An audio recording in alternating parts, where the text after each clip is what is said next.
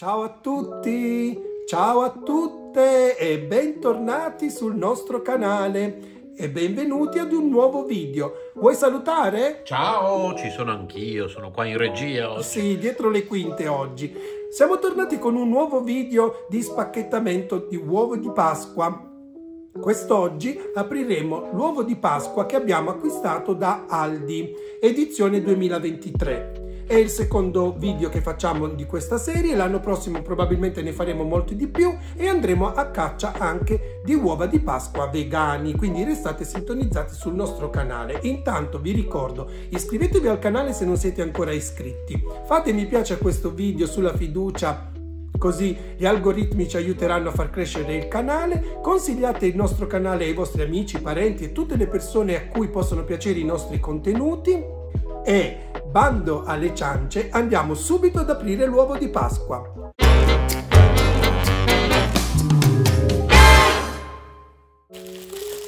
Eccolo qua, eccolo qua. Allora, vi dico subito una cosa importante. Costa un euro in più rispetto a quello che abbiamo aperto la settimana scorsa eh, che avevamo acquistato dall'Idol.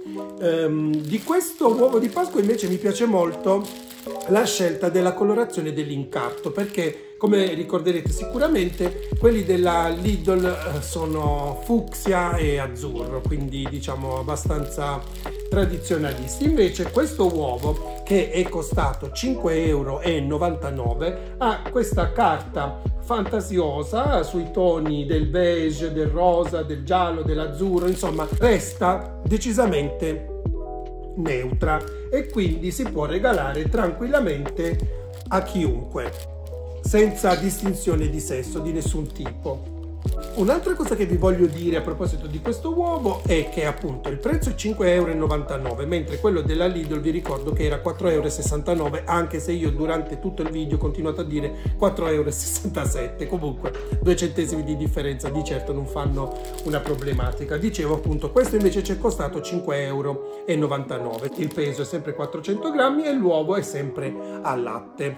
Andiamo subito a vedere che cosa eh, c'è in questo uovo e anche ad assaggiare il cioccolato. Oggi ci faremo aiutare anche da Renzo perché lo faremo assaggiare anche a lui. La volta scorsa ero da solo e quindi togliamo via la carta, tiriamo via qui addirittura c'è un nastrino che si può slacciare comodamente senza dover usare le forbici o un cutter e Cosa facciamo questa volta? Vediamo prima la sorpresa o assaggiamo prima il cioccolato? Come sempre, assaggiamo prima il cioccolato.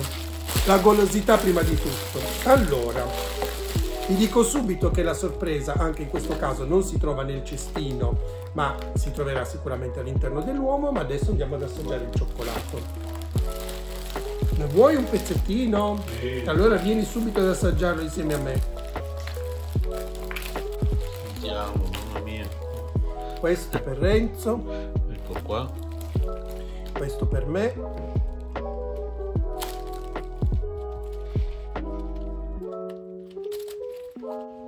Com'è? buonissimo. Non mi ricordo com'era l'altro. Quindi io non sono no, in grado di fare un paragone. Esattamente identici. Né più né meno. Dici? sì. La mettiamo via. L'uovo per un attimo la sorpresa di questo uovo di Pasqua si trova all'interno di questo contenitore che riconoscerete tutti perché se ne trovano di simili anche nelle uova Kinder e andiamo subito ad aprire e vedere che cosa c'è dentro. Oddio, una sorpresa da montare! Va bene, però ci sono le istruzioni è un aeroplanino rosso, vi faccio vedere i pezzi adesso, è un aeroplanino rosso, beh è smontato, vabbè, adesso facciamo una cosa, lo monto fuori camera e poi vi faccio vedere la sorpresa. Allora, la sorpresa è stata montata, vediamo se riesco stavolta a farvela vedere per bene. E devo dire la verità, oggi non vedrete Candy che gioca con questo aeroplanino perché non, eh, non è molto sicuro, ecco, i pezzi sì, stanno, stanno assieme, ma ci sono le ruote che si muovono, l'elica che gira, Aspettiamo, vediamo se riesco a farvela vedere, l'elica gira, le ruote girano, è completamente fatto in plastica, è davvero piccolissimo, sarà sì e no 5 cm di grandezza.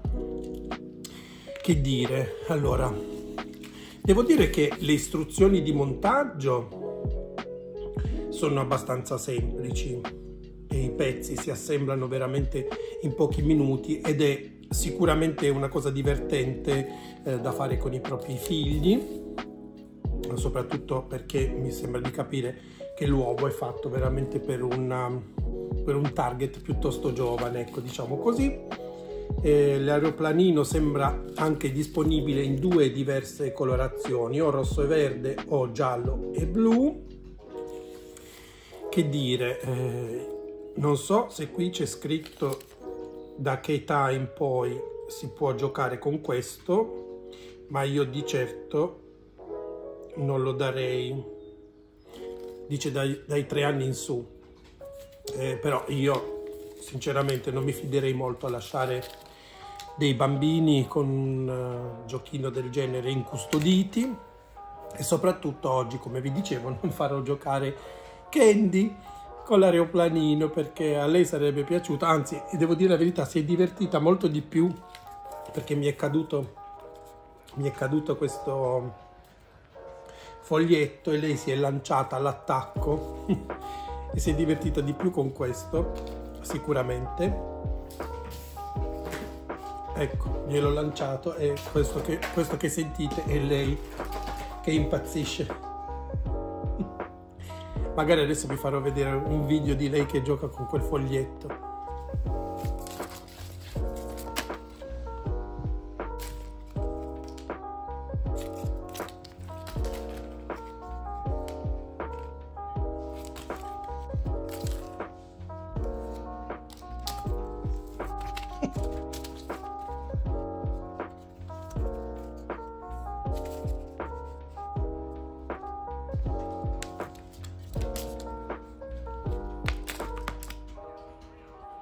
E ehm, che dire, abbiamo sentito l'opinione di Renzo per quanto riguarda il cioccolato. Sì, io poi di nascosto ho mangiato un altro pezzo grande. Dai, ma non va bene. Ricapitoliamo tutto. L'uovo è costato 5,99 euro, quindi un euro in più rispetto a quello del Lidl.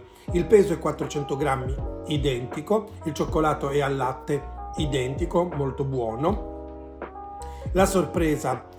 E devo dire che la sorpresa dell'uovo Lidl mi ha colpito di più, mi è piaciuta di più e non solo perché è stata gradita da Candy, ma perché comunque la, la ritengo ottima per il rapporto qualità-prezzo dell'acquisto dell'uovo, mentre questo aeroplanino, per carità, magari divertente, genitori e figli montarlo assieme, zio e nipote, nonna e nipotino, non so, però mm, eh, la sorpresa è davvero deludente e anche un po' pericolosa perché i pezzi si agganciano perfettamente assieme, ma ho l'impressione che un bambino molto piccolo lo smonterebbe in pochi secondi e potrebbe essere pericoloso, soprattutto per quelli più giovani oppure se i pezzi vengono smarriti per casa e poi magari li trova il cane o il gatto, ecco.